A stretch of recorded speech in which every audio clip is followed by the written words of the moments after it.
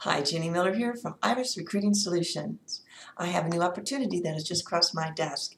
The company I'm working with is right here in the state of Indiana, and they're looking for you if you have experience in product development, sourcing, or merchandising.